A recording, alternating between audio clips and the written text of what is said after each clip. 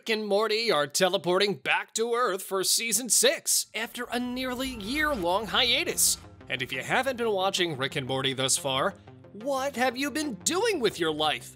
You should watch all of the episodes because season 7 is almost here.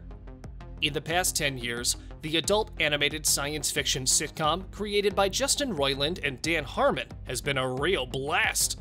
When Rick and Morty debuted in 2013, it completely rocked the adult animation industry. The Dan Harmon and Justin Roiland created program won praise for its skillful blending of intricate sci fi plotlines, witty humor, and intensely thematic material. These two were causing havoc and frequently getting into trouble while exploring the endless universes. If you haven't watched the show up to this point, you should do so immediately, because trust me, you'll become addicted in no time. Many fans consider Rick and Morty to be even better than Family Guy, and this is not exaggerated, as the show has a 9.2 rating on IMDb and an 87% audience score on Rotten Tomatoes. Things that will make you laugh in this show are dark and awkward at times, but you will laugh hysterically. Back in 2021, the fifth season of Rick and Morty abruptly ended with Evil Morty destroying the Citadel of Ricks and removing the central finite curve, which was a protective structure used by Rick to separate off any alternate realities where he wasn't the smartest guy in the universe. In the series' climatic scenes, Evil Morty traveled to one of these pocket universes and passed through a golden portal, where Rick's intelligence is probably dramatically reduced it's impossible to predict what odd mystery he'll find, but it will undoubtedly be something sensational and bizarre. The aftermath of Evil Morty destroying the Citadel and the central finite curve, as well as what he discovers in that strange world, will probably be the focus of the upcoming season. It remains to be seen how Rick intends to function in a multiverse where he is no longer the smartest person in the room. Fans are already asking when the seventh season will be released, even though the sixth season has not even ended. Isn't that intriguing? The seventh season of Rick and Morty has already been confirmed, so if you're also eager for it, you'll just have to hold out a little bit longer. While many film and television productions have been negatively impacted by COVID 19 events since March 2020, it seems that Rick and Morty has been positively impacted.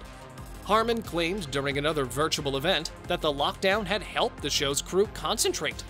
Given that information, it's not too surprising that they've already begun planning for season 7.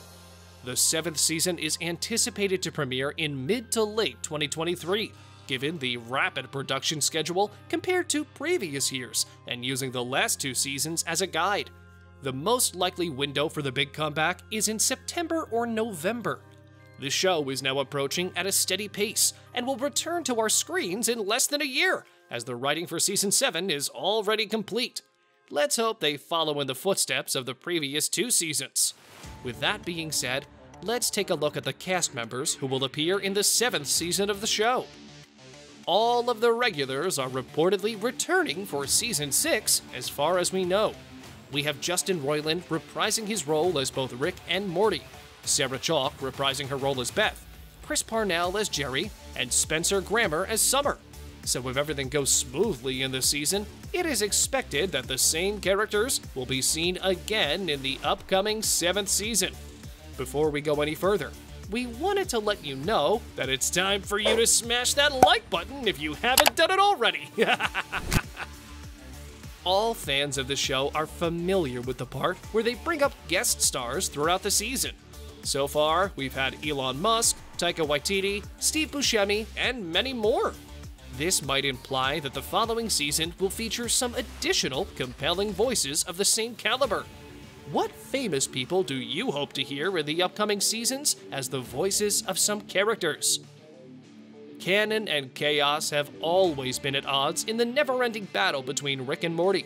The show has never been short on clever ideas to use on different levels, but lately, especially in the last couple of seasons, the question of how it all fits together has become increasingly important. Season 6 is off to a Rick-tastic start. The main story of Rick and Morty Season 6 is very different from what viewers might have anticipated from the Season 6 premiere. Rick and Morty attempt to address the issues they ran into after destroying the Citadel of Ricks in Season 6, which picks up where Season 5 left off.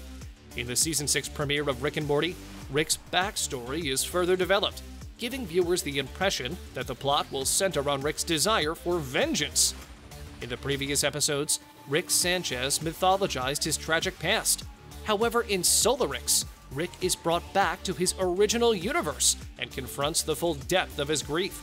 As a form of self punishment, he turned his wife Diane into a robot and put his entire universe in a terrifying time loop. In order to exact revenge for the deaths of Diane and Beth, Rick sets out to confront Weird Rick after receiving the information he needs from his universe. However, things don't turn out as expected. The remains of the Citadel of Ricks are being defended by Beth, Space Beth, and Summer as Rick and Morty fly into Weird Rick's trap. Both Beths call Rick for help when they are devoured by a terrifying space creature. Rick appears prepared to give up everything to kill the person responsible for the deaths of his wife and child because he is unable to look past his need for revenge. That is, until Morty, who was later revealed to be Weird Rick's grandson, convinces Rick to give up his hopeless vendetta in order to save the Beths and Summer. By doing so, he demonstrates that the overall plot of Rick and Morty Season 6 isn't about Rick seeking revenge, but rather about him reuniting with his family. Basically, Rick Sanchez is an unstoppable vengeance weapon with no room for character development. Over the course of the show's first five seasons, Rick frequently delivered violent retribution to those who disobeyed him. How emotionally mature Rick has become is clear in his decision to give up on punishing Weird Rick in order to save Morty, the Beths, and Summer. Even after saving Jerry from his unsatisfying universe with Rick and Beth, he treats him with some respect and attention. It is not to say that Weird Rick won't take the place of Evil Morty in Season 6. The Rick and Morty Season 6 Episode 1 post credit scene indicates that he will undoubtedly be the main antagonist, but it is obvious that the plot won't simply be one of revenge. The best way for Rick to have a satisfying emotional arc that also served to bring justice for the murdered Diane and Beth would be to defeat Weird Rick in order to save his family, which involves an alternate Beth, Jerry, Summer, and Morty.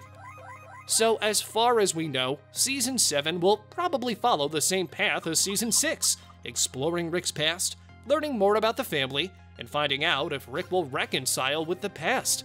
It is also possible that in the upcoming season, Rick and Morty going their separate ways is as much a promise as a threat.